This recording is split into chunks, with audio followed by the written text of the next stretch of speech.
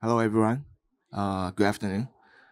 Uh, my name is Huang Zilin, and I'm from uh, like LFK UIT B team. And okay, today I would like to share uh, our experience while we developing custom stickers, especially on the custom elements. Uh, okay, what is custom element uh, stickers? It's a, a new type of stickers that users create unique stickers. They just enter their name or custom text into the caption. And after they purchase these stickers, they can enter as many times as they like. So uh, in order to create these kind of stickers, we need to uh, provide CMS for designers to design the textile uh, editing features. Uh, so, but th th this is dedicated for in-house designer and third-party designers at first. And uh, in a very high level view, this is how custom stickers work behind the scene. Uh, designers create a textile in SVG format and we store it in Line Shop servers. So after user uh, after user purchase the stickers, they enter the customized text and Line Shop servers render the stickers with uh, in a PNG format and sending back to users. So, but that is only for official uh, custom stickers. But we also have a lot of uh, external creators, and so Line Creators Market also need to provide this text editing features. So. Uh, this is how line currently line creators market their uh, custom sticker editing uh, page, it looks pretty much exactly the same as uh, the custom sticker CMS. So the only dif difference is that uh, this is open to uh, public to all creators. So that from both screenshot, you can see that there are some common parts uh, we can share in custom sticker CMS and uh, line creators market. And for example, the text, I call it custom text editor and some other form controls. Okay, so that's the actual custom text editor we we we create. You can see that uh, with this editor, uh, designers can design the text, uh, the fonts, uh, the text size, and the border, and uh, and the layout of the text. So as you can see, it's kind of complicated. So because the user interaction is somewhat complicated, so it's better not to, uh, it's better make it componentized and reusable because uh, reinventing wheel is not very wise. And uh, while we do these componentized things, we have to consider several things. One is uh, it has to be a common technology among modern browsers. And the second one is uh, modern front-end development is hardly done without front-end frameworks. So it's better to easy to integrate with other front-end frameworks. Okay, so that's why we choose custom elements.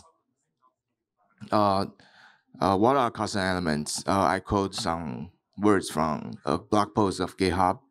Uh, they it's a component library native to the browsers. That means uh, if you use a uh, user don't need to download any additional bytes of framework for uh, to run it.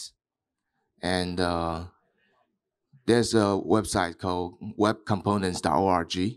On the second row, they list the compatibility of custom elements on all modern browsers. As you can see, Chrome, uh, Safari, Firefox, they all support custom elements already. And but even if uh, but the other one is Edge is still developing this. But uh, even if Edge couldn't support custom elements, we we still have polyfill. And one good news is Edge gonna release a new uh, stable version on 2020 January uh, 15 uh, with fully support of custom elements. Okay. Uh, on the other hand, we also have to consider uh, framework compatibility. Uh, there's there's another website called customelementseverywhere.com. Uh, they design 30 tests against uh, frameworks to test if this framework work well with uh, custom elements. And because creative creators market they heavily adopt Vue.js, so we major our major concern is if custom elements works well with Vue.js, and in fact it works really well. Uh, and besides that, actually custom work well with a lot of more uh, front-end frameworks like Angular, Svelte. Okay, so how to develop custom elements because we don't have enough time to introduce that. So I'll suggest you go check out the uh, MDN or Google documentation about how to write custom elements. Okay, but uh, I would like to tell you more about uh, benefits it brings us.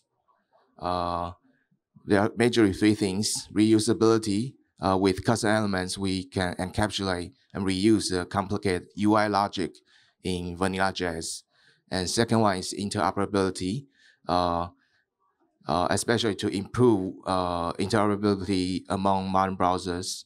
And extendability is if current HTML element is not uh, sufficient for your needs, you can extend it with custom elements.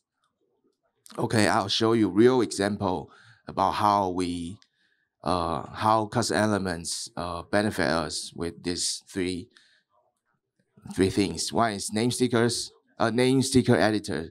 The second is two-tone slider, and last one is graphic input.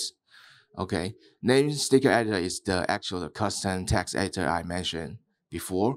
As you can see, the UI logic is compl complicated, and uh, in fact, to use this, you just simply put the script in your HTML page and uh, put the HTML tag name sticker editor with necessary attribute and to use it. That's it.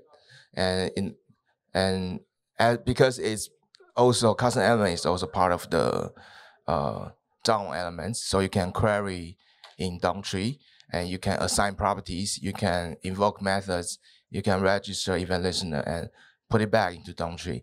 It look, I mean, it, it just everything just feel like uh, regular DOM elements.